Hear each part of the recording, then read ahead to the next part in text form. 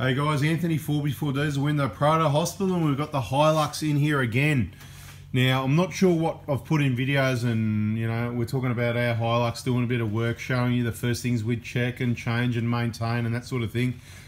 And I'm going to be quite honest with you. Yes, you know, we changed the injectors, we did the EGR clean, cleaned the manifold, we did the BFE, we did the drive shaft, we did the wheel bearing. It's all beautiful. The suspension's really rough. It's a really rough ride. You may have noticed that in one of the videos. It's so rough compared to the Prados. But anyway, long story short, I don't know if I mentioned in one of the videos, it's this engine is quite rattly. It's definitely quite rattly, injector combustion side of things. Um, and I've explained in other videos, you've basically got an engine. We didn't check the compressions on it for reasons we've explained why we don't bother with that anymore with other video in other videos. Um, it ran fine. Look, it was noisy before. It shouldn't have been noisy before, and it was noisy before. And I've just gone, oh, since it's so noisy, I'll throw injectors at it. Because I wasn't going to. I was going to push this out, like really push the injectors out and show you readings and let you know what happens if you don't change them when you should. But it was already rattly and it just seemed too rattly. It didn't seem like any other Prado or Hilux I've ever driven. It was really noisy. Um, even once it was warm, of course. Uh, so I went, well, throw That's why I decided to put injectors at it, yeah? Um, the, uh, the thing is, it's I don't know if it's any quieter, it's still the same or a little bit better. It's certainly quite noisy now. We're trying to work out what's going on. There's not a lot of factors here that, you know, the injectors are everything. You've got the engine, you've got compressions, you've got the injectors, and then you've got fuel pressure. So, yep, you guessed it. I'm not going to waste time. I've been listening to it. I've been thinking about it. I've been thinking what could be causing this. And without wasting too much time on it, because you know it's eight years old I'm going to throw a suction control valve at it. And no it hasn't got the short one. It's got the long one already. There's been a few people that have done this and there's been a few people that have sort of solved a few issues. Like there has been a couple of people changing a MAF sensor for a couple of symptoms and it's sorted it out. Even though it tests fine you can clean it, it works fine you change it it solves a problem. So I just want to show you down here where it's at right? It's down there in the middle of the picture. You can see that fuel pipe crosses straight across the middle of it. It's sort of just down right at the end of my finger, right there, right? It's in the background there. I'll zoom in. That's the suction control valve, right? So basically what we've got to do, we are going to, I'm not going to be able to video this whole thing here, but we're going to remove this fuel filter out of the way. We're just going to slip it out of the bracket. We'll undo the two plugs, slip it out of the bracket, move it over this way, out this way a bit so we can get our arm down through this area here. Undo the grey plug that's on the back of it. Take the two 5 mil uh, well, actually, we're not even going to take the fuel hose off of this one. Usually we take this top fuel hose off to get it out of the way. I might not even do it on this one. We may or may not. You can do that if you like, but we might just uh, swing the clamp of that fuel hose, that one there, around so we don't cut a hand on it, but we might just leave it there. This one hasn't got the adapter kit. I'll give you some more information throughout the video while we're changing it. And yeah, we're going to do a, this is called a gas gnostic or a swap gnostic because it's going to take literally for this one without the adapter, a five minute change. And if it doesn't fix it, well, I'll be happy that it's got a new suction control valve anyway, because it is a wear and tear item. And that'll also provide R&D on uh, any other improvements because fuel economy also, it's using 11 litres per 100 Ks. That's CR120 over there, the 120 there, the 120 gets 11 litres per 100 Ks. It's big and heavy, modified, it's got all-terrain tyres, it's got a lot more weight than this little Hilux with an alloy tray. With um, these Cooper tyres, they're a lot more road orientated in my opinion. So I just think it should be getting 10s or better for the same sort of running around. So anyway, we're going to get in there. Let's. This video's, I'm letting you know where it's at we with the we have got some rattles there. Look, it could be just me being too fussy because I'm used to Prados, not Hiluxes, or it could be an issue. But we're going to go to town on it and replace things. So then we can categorically come out and say, mate, we've replaced everything on this thing, and that's how it is. Even to the point we may even throw another set of injectors into it, and um, someone will get these ones at a bargain price, even though they're brand new and they've only done a couple thousand k's. Um, or we might even throw an old set of injectors into it and see what happens. But let's get this suction control valve done and see if that makes any difference. Having a discussion here, all right. I've got my assistant onto the job. Mate, if I let him work on anyone else's car, I'm going to let him work on my car. No issue there. It's mainly so we can do the video, but we do do things a little bit differently, you know. Maybe I can learn from him. He can learn from me. But he said he doesn't even normally move that out of the way. And I said, can you just move it out of the way, please, mate? See how long did that take? I videoed. He wasn't even ready. I said, I don't care. I'm rolling. And literally 25 seconds of video, and that's gone from being in the way to out of the way and opens it up like that. Can we just please do it that way? Look, you do whatever you want, right? But um, on my car, you do it this way. Anyway, the, the top fuel hose we talk about removing, that's that one down there, right? I'm going to sort of get around this side of it. He doesn't remove that either. Can we at least spin the clamp around so you don't scratch your back of your hand on it and cut your, slice your back of your finger open? Can we do that? Because you do those with your finger, mate, really easy. There you go, stuff you, mate. I'm not talking, I'm not doing anything, I'm doing it my way. Plugs off. Plugs off, happy days, right? I'm going to get in there and have a look while he goes to get the, look at that. See, you got the access there, the plugs there. See the hose above it? I just take that off, but you don't have to. You certainly don't have to, but see how the bottom of the clamps, they're just sticking down this way? When you're trying to get the Allen key in there, it's likely to sort of, I'm getting out of your way, sorry, so. We're, we're live here, we're live and happening. This is an action now, when you change the suction control valve, you know we've got the other videos on that. When you upgrade from the the shorter one to the longer one, there's an adapter kit sort of thing comes with it, whatever, depending. Every VIN number's got different suction control valves. You know, some suppliers just say, hey, one suits all, just throw it in there. And sometimes it works, sometimes it doesn't. There's a bit of luck there. There was a story, I don't know if it was a rumour, but um, who was it? Um, someone supplied someone a suction control valve and then the engine blew up. Now, I don't know how that would happen, but I suppose if it was the wrong one and it didn't work right and fuel pressure uh, fuel pressure was wrong and it went a bit crazy, then perhaps something like that could happen. But that's all the details I had. I can't remember. It was years ago. Somebody was telling me the story. And you know, stories, everybody's got one. So, But I just reckon use the right one. We supply the right one based on um, VIN number. Sometimes we give you a different one. Um, if, as I said, with a lot of components on the Prados and Hiluxes, if we find that there's different part numbers or components from one vehicle to the other, we'll give you the better one, if you know what I mean, the better one of the two, as long as it's you know interchangeable. We go, well, if Thailand's using that and we see problems with that, we don't like it, but Japan's using that on the Prados and they're the same, it's just a different number, we're going to give you the better one. It may cost more, but, you know, poor man pays twice, do it right the first time. So as I said, these are really easy. There's no spacer you got to put there. You have to muck around with O-rings and gaskets and holding it all in the right spot. When I say easy, my man here, he has done heaps of these, right? Now, he's always nervous on camera. That's why he looks a bit dodgy on the camera and that, right? no, uh, not really, kind of, maybe sort of. I don't know. you got to work out if that's true or not. Like me, see, I'm, I'm nervous on camera.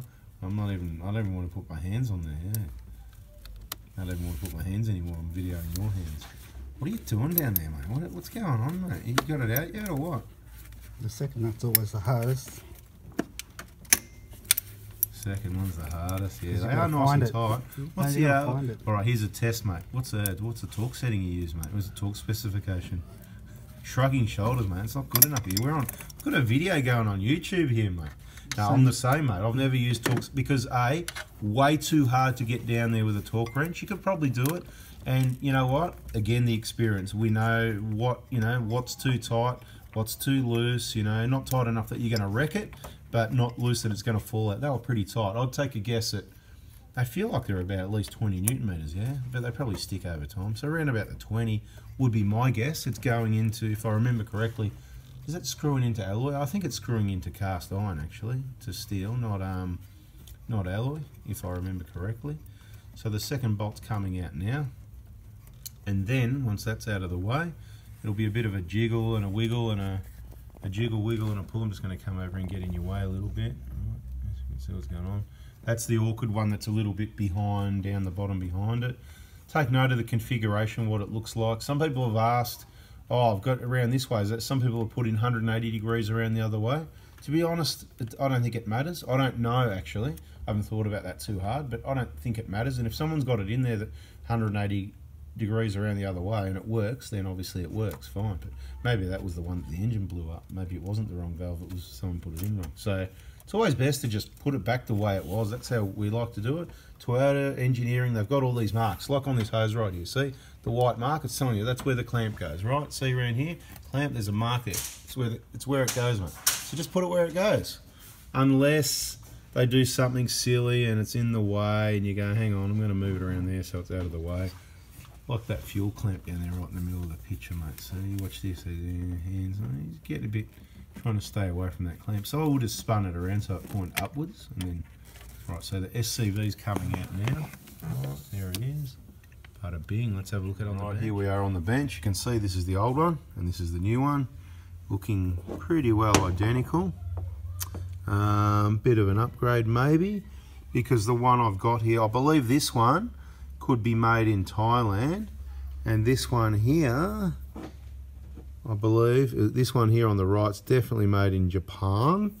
So yeah, there they are. They should look pretty well identical like that. You can see the O-rings still sitting on this one as it came out. We haven't touched anything else. So these O-rings, they generally stay really good and you could reuse it and we use a bit of Molykote to hold it in place sometimes.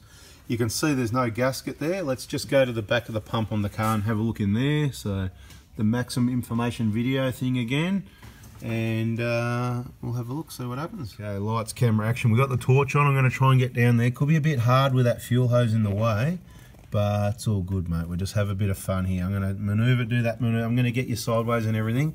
I'm going to go down there and go, yep, that's what you're looking at, right? Right, that's what you're looking at. Ah, so that's that. You know, you know what you're looking at, the configurator. There it is around there, showing you max information. Keep it clean. We don't want any dust or dirt or anything. Don't do it out on a dusty, windy, dirty day. Things need to be clean. That's why we'll stop rolling, get this other valve, bang, and bada bing, and just get it in there. So we've got a new O-ring. Obviously, this one, it's sort of sitting in position by a bit of luck. We're going to leave that as it is. There's a new O-ring that comes with it that goes on there. You just need to use something like the Molykote, which you should already have a tube of if you've purchased injector kit from us and you've got the whole kit or you took it to one of our recommended repairers, they'll take care of the installation. And just, can you just show me how you Molykote it? Bring it over here, mate. Oh yeah, yeah, there we go, right. See, and that just makes it sticky enough that we can sit it in place over the top of this SCV and just centralize it so it's central like that one. And then once it's sitting there, we'll be able to gently lower that down to the vehicle without bumping the O-ring. And as long as it doesn't move, and it shouldn't, this works really well, gently you can use these guide pins. We probably will put the guide pins in. What do you reckon? Yeah, we'll yeah, do the guide pins for the video. For the video. We'll put these two pins in where the bolts go. Well, I even use one guide pin sometimes. So I put one guide pin in, top and bottom. I normally put the guide pin at the top because the guide pin's harder to get out at the bottom. Yeah. So I put, yeah, so you're the same, yeah, independent but same, yeah, I like it, right? That's how we like our 4x4 diesel workshop partners, you know? We didn't plan it to wear the same, it's just because we're good we're the same good, if you know what I mean, good, bad, and whatever. Um, but we're the same, and it just turns out when you do things well, it turns out you're doing it the same. I find that a lot with our workshop partners. So, guide pin goes in the top, slip the suction control valve in. As I explained in the other video, then you hold the valve in with one hand, and you've got your bolt already ready on your tool to go in the bottom and you screw it in. You don't let go of either till it's all the way in. As soon as it's all the way in, you can let it go. This might move out a little bit, but it's not going to go anywhere. The O-ring's sitting on the taper in the back of the pump. Um, then the guide pin can come out and you put your other bolt in and you sort of go back and forth. You don't tighten up one to 50 newton meters. You go from one to the other one to the other. Yeah, but it's all the way in and then just give it a nice little nip, whether it's the 20 or 20 or 25 or whatever it is we go by feel. So you want to look it up, the torque specification, or if you know what it is, look it up and put it in the comments. Remember guys, just because it's in the comments doesn't mean it's right, but if it's there, hopefully if it sounds about right, it could be right. Maybe put your source as well. If you know what it is, please put your source of information. All right, back to the car, let's get it in there. There we are, I've just centralized that O-ring. As best, it might look untidy because of the Molykote, but look, test. Did it move? I go like that. I'm, I'm flicking it. I'm flicking, I'm trying to get it to move. I don't believe it moved. We're not going to adjust it again. We're going to take it to the vehicle, see if it goes in. So there it is. We've got the little Allen key piece of the quarter drive with the screw ready to go on the sill there. I'm going to get down here out the way with the camera when you're ready, uh, mate. So as long as you get it down there without knocking it on anything, that O-ring shouldn't go anywhere. Try and get it in once right the first time, if you know what I mean. I'm talking to people in the video, not you, of course. You know what you're doing. Um, like I say, the getting that fuel hose out of the way is optional, but I, I get it out of the way usually. But it was this one I actually said, maybe we don't need to do it on this one. And he said, ah, I don't do that anyway. So, you know, each to your own when it comes to that. Sometimes one little extra job makes it a job easier. It's only going to take a minute, but of course you've got further risk of contamination. So, so you get it in with one hand. You got to try and hold it there, or you might even be able to let it go. There you go. That's how you do it. You let it go. Stay there anyway. Might be a little bit more fiddly when you've got the spacer on there. At this point in time, I'll let you know there's two different lengths in screws. There's short and long. You, if you've got the long suction control valve, you use the short screws. If you've got the short suction control valve, it probably has the short screws. If you're putting the long suction control valve adapter, that's when you need the long screws. So it should all make sense. There's a big O-ring and a little O-ring. You should be able to work out which one's which. Sometimes there's a couple extra O-rings, you know, whichever, you can't go, just pick the right size, you can't go wrong. I've never had anyone, ourselves, workshop partners or DIYs, anyone go wrong with that. Well, not that they've told me anyway. Um, yeah, get that bottom bolt in all the way.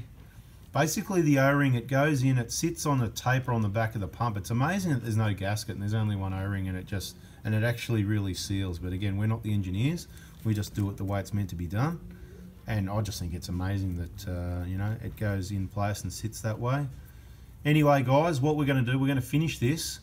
We're going to run this vehicle for a bit longer, whether it's a week or two or a month or a thousand Ks or a few hundred Ks to go, oh, mate, you know, and if that made a massive difference and it solved the problem, I'll come back and tell you that in a video.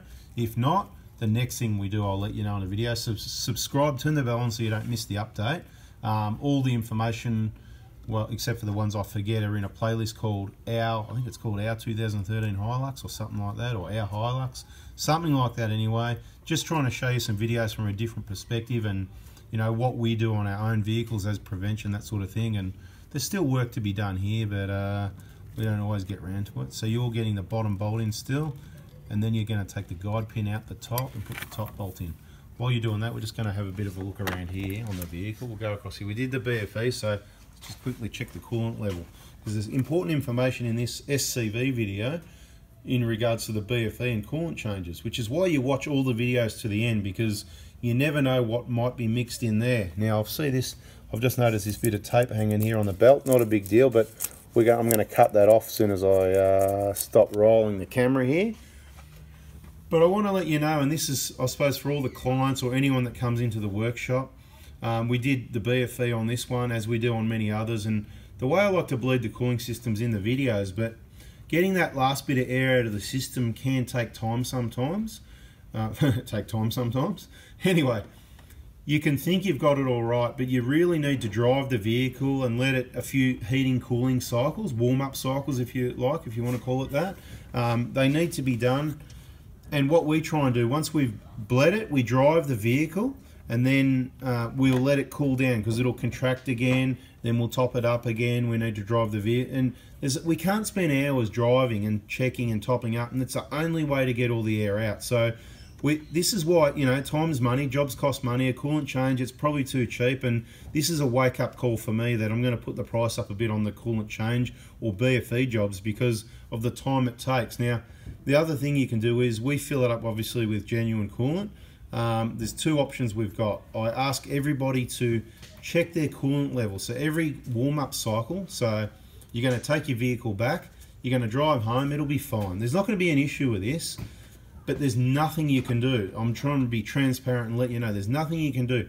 Nine times out of 10, the coolant level will be fine. And sometimes we overfill it a little bit to compensate with what we've learnt from our knowledge, how much it's going to go down and how much you'll need. And hopefully that works out right. Sometimes it ends up overfull, which is fine. It's just going to push the excess out. It may make a little bit of mess, which means you just need to give it a, a wash. You know, it'll come out this hole up here perhaps, right? And make a bit of mess around the place. So the next day when it's cold in the morning, you pop the bonnet and you go, yep, level's good, I don't need to do anything. If there's a bit of mess up here, you clean it up, pour some water over it, no problem. Not the whole engine bay, just where the mess is, yeah? You get your garden hose, give it a quick spray, keep it clean so you know there's no leaks. If it ends up down below the full line, I would like to top it up. So whether it's me, whether you want to come back, whether you want to have your own coolant available, uh, if it's just a small amount, a little bit of water will be fine. Just make sure it's good, clean water. A little bit of water, a little bit of water won't hurt things. It's not going to be a big deal here, but I just want to let you know because on this one, again, this is why we need to own and have these vehicles here and use these vehicles and work on these vehicles, not just yours, because like this engine being rattlier than any others that I've worked on that I can think of after having all the work done on new injectors. It's absolutely awesome for us because we get to play with it and we get it forces us, it forces more learning upon us. So um, and I want to be able to say if, if it's how it is and we've done everything on this vehicle and it's how it is and we've put five sets of injectors in it and five suction control valves and five MAP sensors and five air filters and five MAP filters and whatever and the bloody thing is still the same then that's how it is. And I want to be able to say that to you if if that's how it is sometimes. And it is like that sometimes but this is worse than all the others. So we're going to go a bit further if I had a customer's car that was this noisy, I'd probably go, well, you know, this they can do this, but this one, maybe we should throw a suction control. there. Maybe this, maybe that. We've looked at the fuel pressure, so there's diagnostic time, and there's but how much time do you spend? And there's sometimes there's things, especially with fuel pressure, suction control valve type stuff, you just can't diagnose. So back onto the coolant. This one, I popped the bonnet the next day. Wow, it was down. You know what I mean? I topped it up again. It happened a few times over about a week, and I'm like I reckon it took, it might sound like a lot or not, you know, I don't know if it was half a litre to a litre, not a lot of coolant. You're not going to cook the engine anything like that, but I want to keep the level up. Now, the good news is after about a week of topping it up, whether it was 50 mil here, 100 mil there, 300 mil one day, whatever, it sat perfectly. And I do remember overfilling it. Right now, what are we? It's pretty well cooled down. It hasn't been driven for hours, has it? It's warm, okay? So I'm going to take a guess at coolant temp 40 degrees. So when it cools down, it's still going to be around that full line, maybe somewhere between the seam. I like it around the seam anyway. That's where I like to have it a finished thing. There's plenty of room for when it expands. It's not going to blow out. Anyway, back to over here. Let's see what's going on here. Mate, what are you doing, mate? Is this done yet or what? Done. Is this job done? Done. What, what are you doing, mate? Oh, you put the fuel filter. What about this, mate? What about this? What is this? Yeah. Hadn't got to it yet. I know, I know. He's waving his arms around going, no, if you let me finish. Anyway, we're just mucking around. It's all good. Let's have a look. Yeah, it's down there. It's plugged in. It's sealed up. Okay, mate. Do you want to do the final test and start the engine? And we'll see if the engine starts. And if you did something dodgy, uh, you know, it won't start. Let's check it out, mate. Let's see what happens. Could be a big backfire and a big cloud of smoke, mate.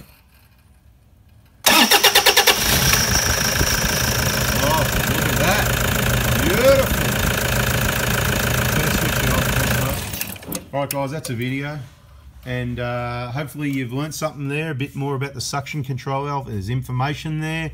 It's all combined in one video. There's installation information, there's why you may or may not change it. If you want to throw a suction control valve into yours that's already got a long one, that's something that's worth doing. I suggest you shoot me a text message. Appreciate all the questions on the YouTube, but I can't always answer them all, that's for sure. Um, if you've got a serious problem and you're local to me, you're one of our clients, that you're trying to rectify, you can send me a text message. Perhaps I'll recommend, yeah, let's throw a suction control valve at it. It's something that can be done. Uh, but look, stay tuned, subscribe because I'll let you know whether this has made any difference or if it was a complete waste of money, okay? AKA tax deduction. Anyway, guys, thanks for watching. Please subscribe, turn the bell on, uh, hit the like button if you learnt maybe something about suction controls, installing them, when to replace them or not. Let's just quickly say, you know, the fuel pump basically is a constant pump. The valve is what controls the pressure. So if it's not working right, your fuel pressure is or can be all over the place. So anyway, guys, that's the video. We're out of here. Subscribe, bell on, like button, bada bing, bada boom. Hopefully not bada boom. We're out of here. See you. Bye.